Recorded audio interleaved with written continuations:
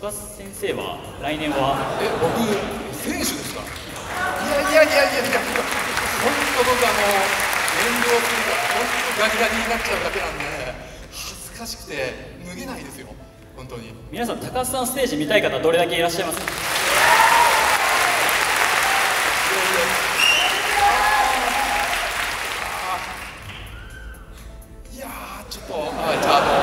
高須先生がちょっとなんか話があるということで何かしましたか僕？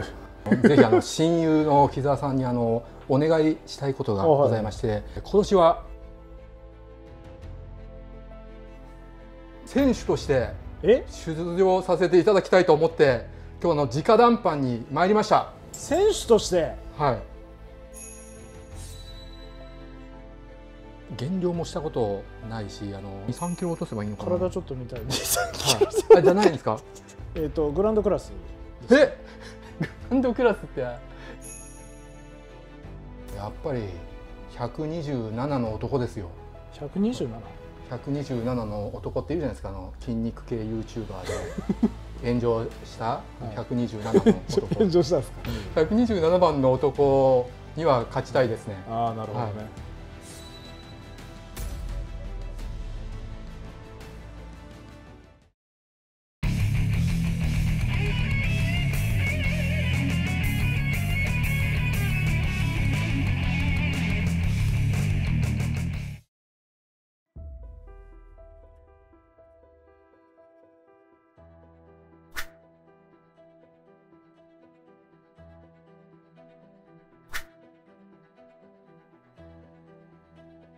こんにちは、よろしくです。はい。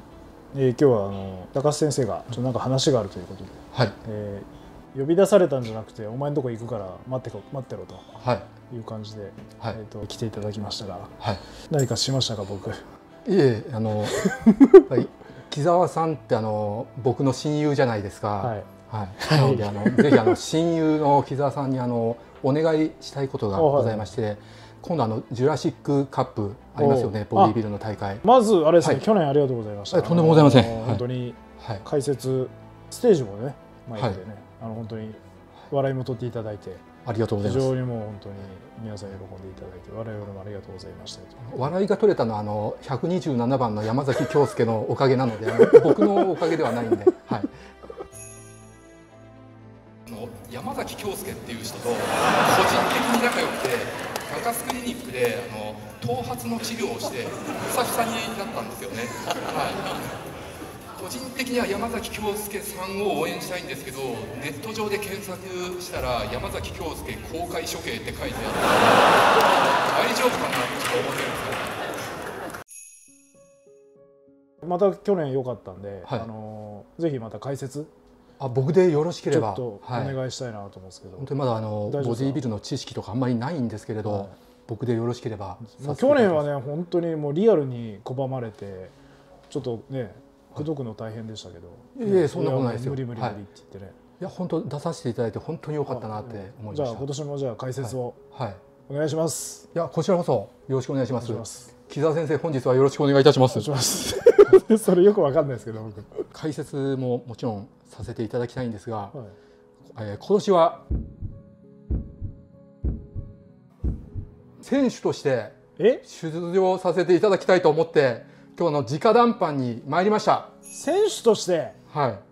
本当ですか、はい、あのもう 自分で申し込もうとしたんですけど、はい。もう人気がもうありすぎて溢れててあ、はい。の申し込めない状態に本当ですか？あれ？でも一週間ありましたよね申し込み期間。あそうなんですか？はい申し込んでないでしょそもそも。すいません。いや人からごめんなさい。人から聞いたんですよ。人から人から聞いてたから申し込んでないじゃないですか。すいません。申し込もうと思ったらもう一週間だって抽選抽選とかの選考なんであすいません。なんかもういっぱいみたいいなことあそうなんだ。だからその一週大間の機会にもよエントリーしてなかったってことですよね。してないです。はいあの余裕だろうと思って。あそうなんですよ。ずっと一週間以上待っててそろそろ行こうかなと思ったらもうなんか終わってるみたいなこと言われてこんなに人気のある大会ってことも知らなくてはい。まあ2週間後ぐらいでも余裕で申し込めるって勝手に思っちゃって。じゃあ、はい。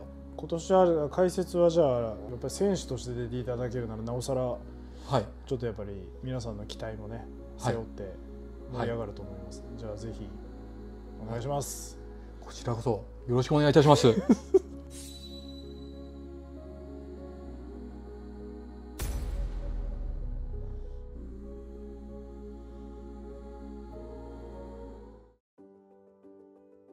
本当にあのボディビル知らないことばっかりで本当に完全な初出場で、ボディビル以外のそのボディメイクの大会も何も出たことなくて、とりあえずあの全身脱毛はもう始めました。あはいレーザー脱毛で、はいあのだいぶ足もツルツルになってきて、はい。はい。えっ、と、はい。大会自体去年のジュラシックカップが初めてなんですもんね見たの見たのも初めてなんですよ去年。はい。ですよね。どうしたんですかこの心境の変化はこうまあ去年あれだけ解説ですらちょっと僕には恐れ多いという。はい。拒んでたのがまさか。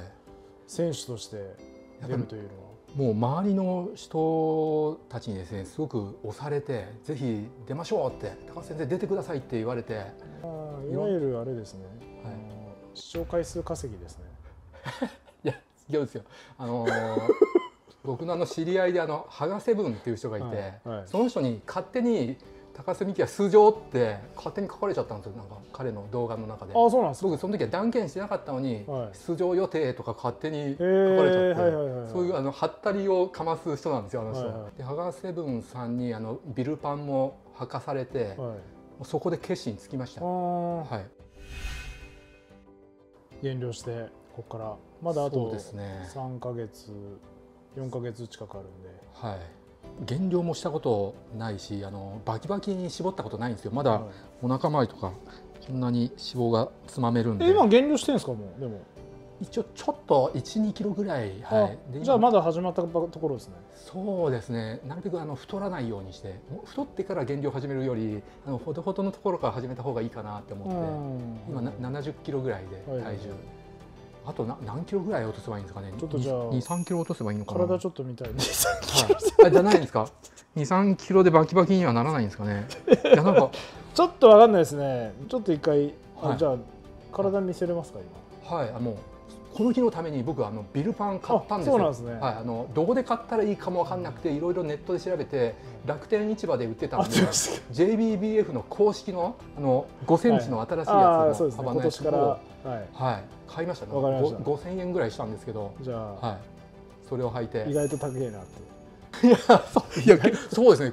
結構するなって思って。意外と高いなって確かにそうですね。正直。見るとねシンプルなパンツは高いですい。や1500円ぐらいだと勝手に思っちゃうんですけど同じような他のなんですか、ん。あのビキニパンツだと、それそれぐらいですよね。1500円ぐらいなのでこれだけ高いなって 正直思ったんですよ高いですね。はい。僕も初めてお目にかかりますけどビルパン姿をちょっとじゃあはい。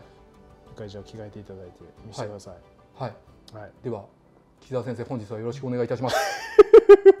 かボディチェックの様子は高須先生のチャンネルで。はいそうですね、えー流させていただくとして。じゃあ本当にじゃあ選手として、えー今年はじゃあはい。出場していただける、はい。出場したいということですね。もうさせていただきたいです。もう決意しじゃあ、あました、はい。のーえっ、とグランドクラスえ？